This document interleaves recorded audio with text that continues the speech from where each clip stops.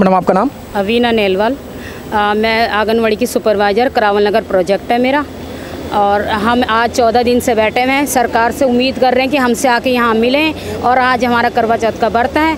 और आज भूखी प्यासे हम बैठे हुए हैं। अभी तक उनको इतनी शर्म नहीं है हमारे से मिलने की कि हम बाहर आके हमसे मिलें या हमें अंदर बुलाएँ। हम उम्मीद करते हैं उनसे कि हमसे जल्दी आके मिलें। नैनवाल जी सरकार की क्या मजबूरी है जो आपसे मिलेंगे? कि उनको क्या दिख नहीं रहा? हम यहाँ चौदह दिन से यहाँ रोड पे बैठे हुए हैं। क्या हमारे को शौक चढ़ रहा है यहाँ पे बैठने का? तो उनको पता तो होना चाहिए जब हमारा लेटर रोज का रोज रिसीव हो रहा है तो उनको पता नहीं है कि हमसे मिलना है। आप बताइए। तो रिसीव कौन कर रहा है इनका उनका पीए कर रहा है शायद अंदर।